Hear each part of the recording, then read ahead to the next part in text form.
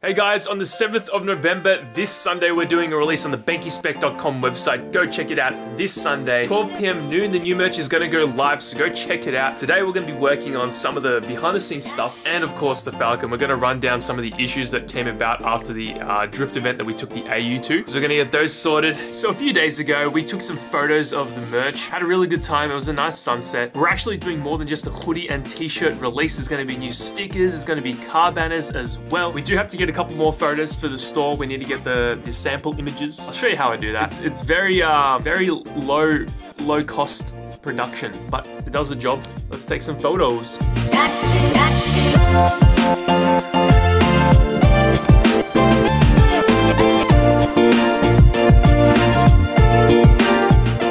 So we are done with the photo shoot now and make sure you don't forget 7th of November, this Sunday, release is happening. Oh man.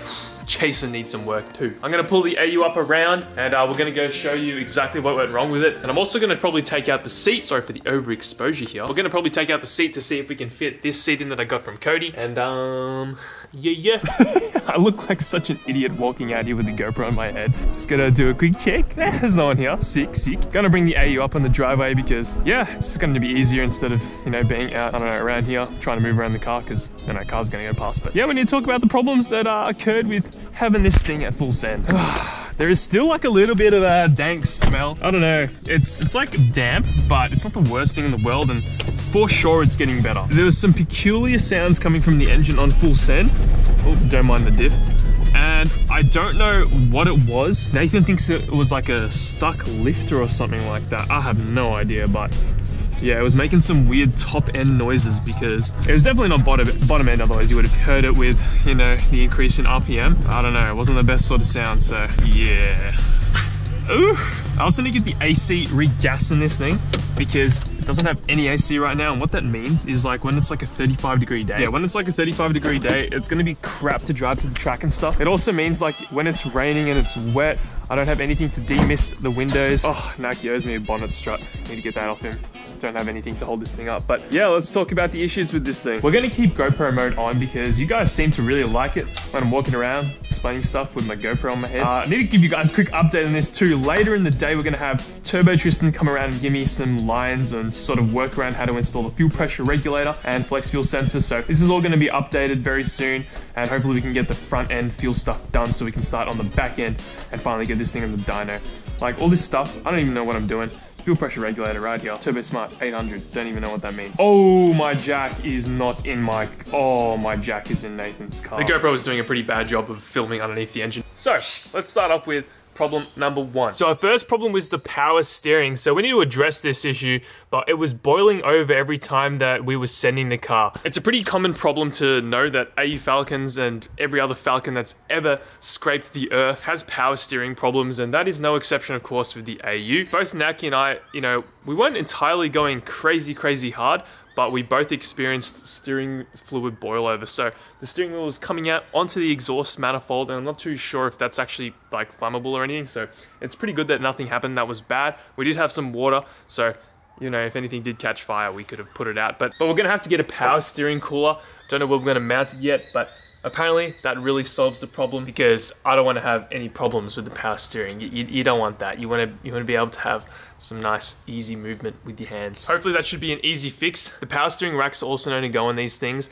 and I believe it's probably because of the power steering pump because they you know get hot and boil over and the fluid comes out, the power steering probably runs dry and that's where you get your problem. So hopefully having the power steering cooler there it prevents all of that from happening and we can have a good time on track next time. The next issue that we faced with this thing was the coolant. Now I know exactly what we're gonna do because this is just triggering me so much. We've got some milkshake coolant going on and we've flushed this thing so many times now. It's literally like brown. I don't know if the camera's gonna pick that up, but it's it's brown. And every time we flush this thing, get some nice green coolant in there, within like a couple cycles, the coolant is back to brown. So I've spent probably like a $100 trying to get the coolant sort of fixed. The only option from here now is probably to replace the radiator because I believe there's just a massive amount of stuff built up in the radiator that's just making this thing turn to chocolate every time we run this thing. So I'm sick of spending money on coolant. We're just gonna buy a new radiator.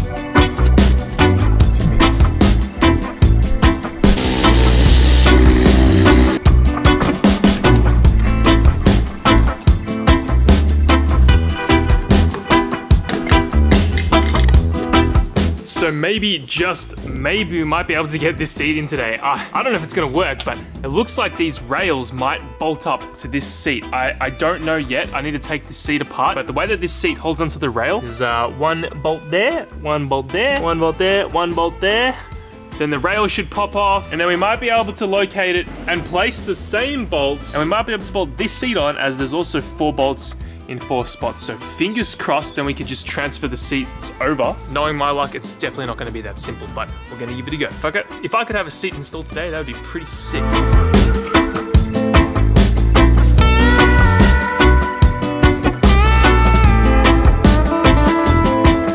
Chucked the seat on the standard rail and I reckon I could get it to work potentially. The only issue is that like if I do this and I, I try to make it work, I'm gonna have to chop some stuff and I just don't want to brick my car for like a week until I can get like the part. Like I do drive the AU around quite a bit. So I'm gonna put the seat rail and seat in the car and see, see where I sit as a driver and maybe if it like lines up really well, then I'll consider it and I'll just send it, but I just don't even know what it's gonna line up like right now. So I'll chuck the seat in and see what happens.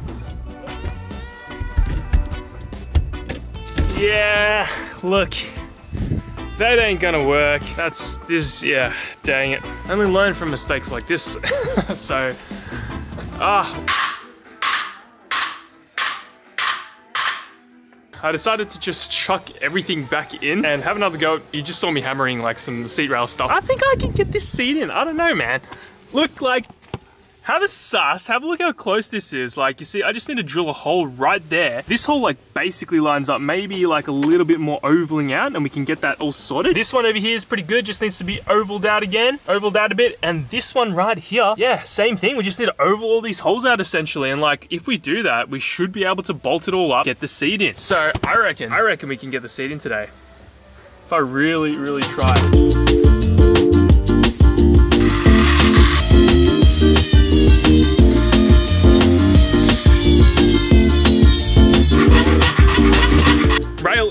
Everything's installed and it's pretty impressive considering this seat rail is not made for the car at all. Have a sus, it's all in here.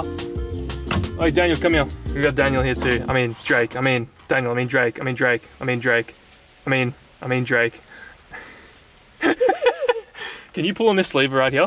Yeah, sure, no worries, buddy. Thanks, buddy. No Thanks, buddy boy. No worries, champ. Champ. Go, chief. Chief. There you go. Uh, you, no, you gotta pull it up, like. Yeah, no, I haven't done it yet. Oh, why? Ready? Yeah. Now do it again. Now do it again. Keep it there. Yeah. Oh fuck. Oh, why won't it go? Yeah. Pull, pull, push, push. Oh, fuck. Oh, fuck. nah, it works. It works there, yeah? Yeah, look. Look at this.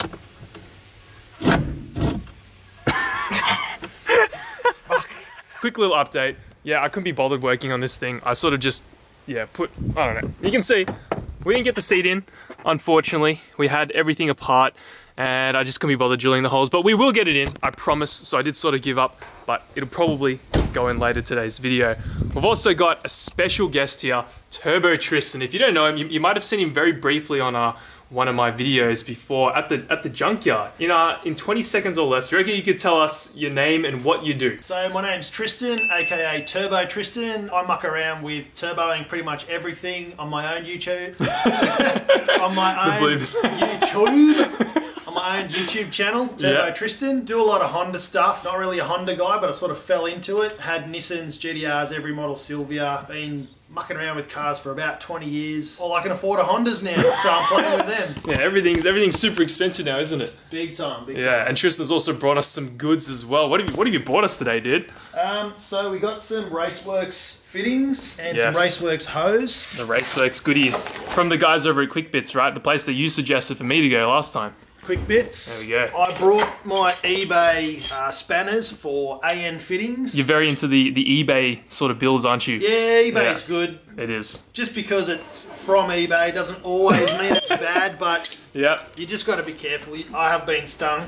Yeah, for sure. I brought over some vice grips. These go in the vice. They're also from Raceworks, and basically holds your fittings in there so that they don't get damaged up. Sick. And I brought the plastic ones as well for extra bling factor, so don't scratch anything. E85 push lock hose. If we need any extra, we can do that. So one of the biggest things that I've been struggling with with this whole build, I keep like telling Tristan, like I sort of know what I'm doing. You probably like get that I sort of know what to do, but it's just like it's intimidating because we're dealing with fuel here. So I don't want to mess this up. So that's why I've got you around because Any- like I don't want to mess up. Anything that explodes is always Yes. intimidating the first few times you play with it. I don't. I just yeah, putting all the lines and fittings on. It's intimidating, man. So I don't know. You're the expert, so we got you here. A lot of pressure. We're just now removing the uh, return line, the, the, the what do you call it, the rubber return line, the rubber bit of it. Oh look, Tristan's he's fisting my engine bay. he's got it.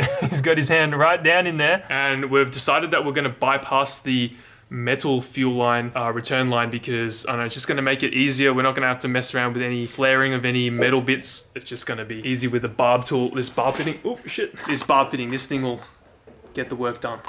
Here's our flex fuel sensor. You're a Haltech guy, aren't you? Uh, I do have a Haltech.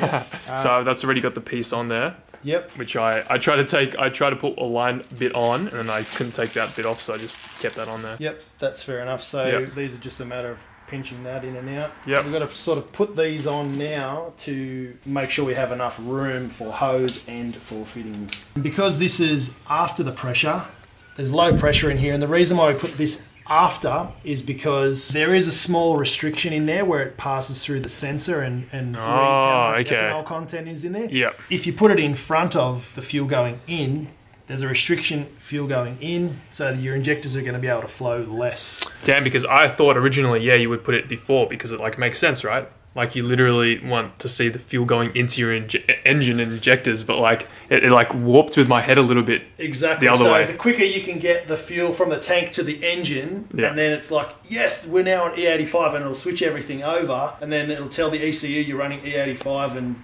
make all the changes. Once the fuel pressure starts to build, your rising rate regulator is going to pump the fuel pressure up, and then it's going to sort of bottleneck in there. You can sort Ah. of see in there. There's a little tiny. Oh, I can see. Yeah, yeah. Just to stick to get the the reading, right? Yeah. Yeah. So you have that afterwards. Yeah. It's still going to pressurize the rail, still going to pressurize the injectors, and then any extra is going to come off and bleed through this, through the regulator, through this, and then back to the tank. So it's still, it's literally a split second delay. So Mm-hmm. it's not going to affect the reading or the ECU, but it's going to help you get more flow to your injectors. And it is still like accurately seeing what's the, what the engine's getting because it's literally just coming straight out of the rail. just come from Yeah. the engine, so it knows Sick. exactly what it's getting. Oh man, yeah, that makes way more sense now. So Tristan's now um he's taken off one of the bungs that was in the Turbosmart 800 and he's replacing it and putting it on one. Which side did you put it on?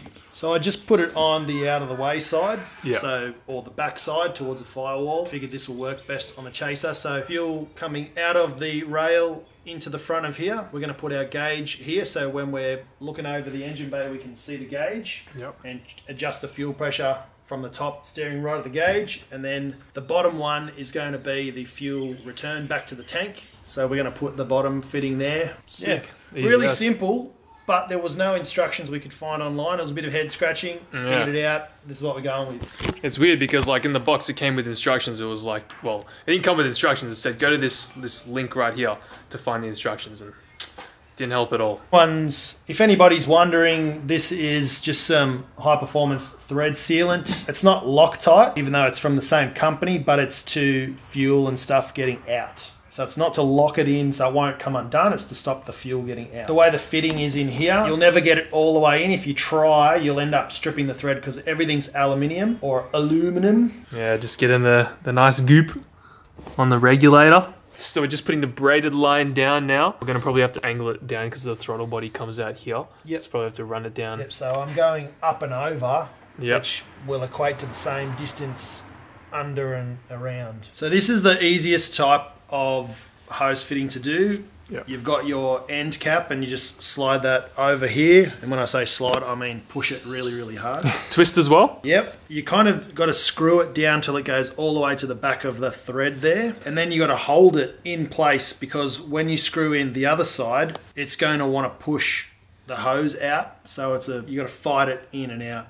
Uh, Bit of practice. Yep. Keep an eye on this end to make sure it's not pushing out and not going crooked uh, because you'll see it'll sort of start to push one side Mm-hmm. and then use your alloy spanner to do that up. It's a bit of stress. Next day now, and that's about all we have time for today's video. Massive, massive thank you to Tristan. Go check his channel out and leave a comment on his latest video saying that I sent you. It's awesome as well because he's an automotive YouTuber and he lives very close to me, so there's going to be definitely more videos with Tristan. We need to go check out his shop because he's got a sick shop in the works and I really want to have a look at some of his projects. To give you guys a quick little update, essentially what we did was create this line right here. Um, it's got the fittings on there, you can see, and that's going to go from the uh, return line. It's going to go from the fuel rail to the fuel pressure regulator. We need to make like three more lines, and then we can have the front end sorted. PJ also messaged me and said that he's going to donate some of his uh, fuel rail spaces, which is sick. I'm gonna have to buy some for him.